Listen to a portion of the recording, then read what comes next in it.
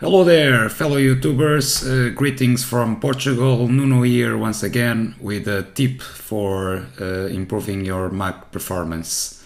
Uh, today's video, as you can see on the top, uh, it's regarding how to keep your software, your Mac OS uh, 10 uh, clean. this is the way I do it.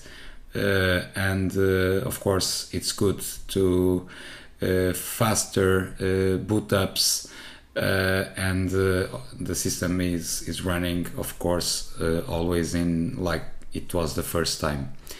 I do this in a regular basis about one week one or two weeks when I see the spinning you know at the boot uh, taking too long. So I, I, perform these steps that I'm going to talk to you uh, uh, right away. So the first one, I think everyone knows, is uh, disk utility. Okay, uh, I regular uh, frequently I repair the permissions of my SSD uh, because you know uh, uh, there are lots of errors and it's convenient for you. I don't know once a week perhaps. That's what what I do for you to do that uh, to repair the, the permissions on your hard drive or a solid state uh, drive in my case. Uh, this is one of the of the procedures that I make. Another one, it's I have this program that I like a lot. It's MacKeeper. Uh, it's a paid program, but uh, it's um, it's very very good and you, what I do is I click here one click scan. Of course I made this uh, a little while ago. I made it about 10 minutes ago as and you as you can see there is already 14.7 megabytes that I can clean.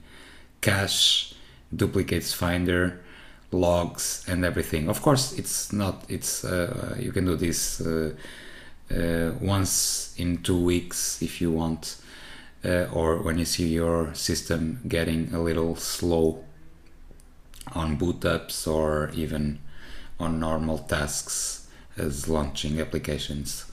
So this program MacKeeper, this one, okay, uh, I will leave then the link, link in the in the description. Uh, MacKeeper, that's the name of the application. This program is very very very good. So you have the possibility to clean your binaries of course. If you are working on a Mac uh, with a, with a, an Intel processor it's no there is no need to have the PPC uh, the PowerPC uh, binary. So uh, I clean it in all my applications uh, also to clean the cache. Duplicates finder uh, there aren't a lot now but I, I do this when there are lots and lots language in my case, I keep always my primary language that is Portuguese and also English. Uh, logs cleaner and all files finder that I don't have now because I already cleaned it. And also you have lots of things, uh, backup, data encryptor, default apps, disk, disk usage, login items. This is another thing that prevents your computer. In my case, I have the Growl application for um, pop-ups of new messages and the clip menu for uh, you know copy and paste uh, things um, it's it's this application over here. Uh, it's an history uh, copy and paste uh, application. Shredder to get rid of apparently of anything that you want documents and and then delete and the wise uninstaller and everything. So um, this is uh, so the first step is the the the disk utility you know the, the repair of the permissions. The second step is this program that I show you MacKeeper.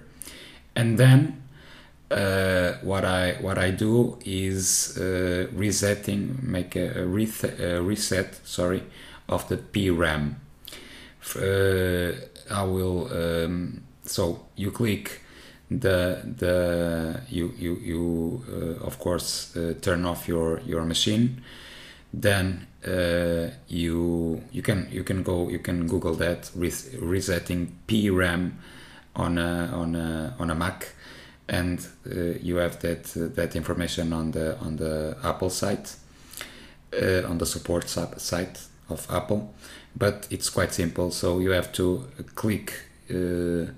Uh, turn on your your computer and then at the same time you have to click the option command P and R at the same time and uh, the computer will start and then go, the app the Apple uh, symbol doesn't appear.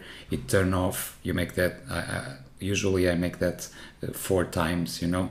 So one two three four with your uh, fingers on the option command P uh, for Portugal and R for Romania. okay, and you do that. Uh, uh, you have the boot off uh, four times, but go check the um, the or, or I can do I can I can show you here. If you Google reset reset P RAM. Uh, and if I, if I can show you here on a, for me it's a MacBook uh, or Apple. Let's see what's what's the okay. The first site is all is support Apple. So you have here I will copy this link already to uh, to leave it in the in the description. And here you have for different machines and what this uh, procedure does for your for your machine.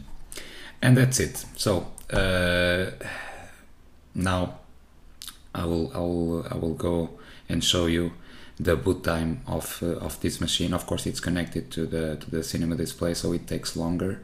But when when I'm uh, only with the with the MacBook uh, it's uh, extremely speedy boot up so guys i hope you you like the video and uh, i hope to see you on uh, on another one. So thanks for watching and goodbye